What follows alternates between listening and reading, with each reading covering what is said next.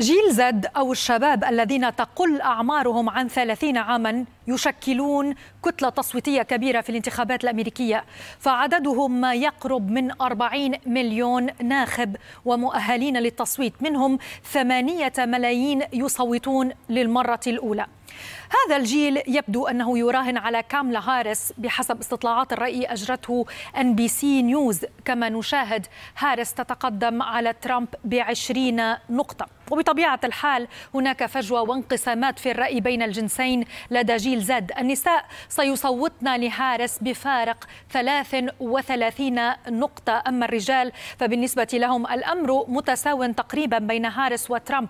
فهارس تتقدم فقط بنقطتين على ترامب. الفارق إذا كبير بين الجنسين وبالتفصيل أكثر يعتبر 46% من الرجال أن ترامب جدير بالرئاسة. أما النساء فخمسة وستون في المئة يعتبرن أن هارس هي الأكثر جدارة لتصبح أول رئيس من النساء.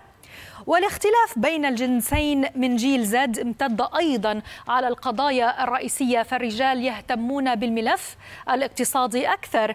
نتحدث عن 35% للرجال أما النساء ف 29%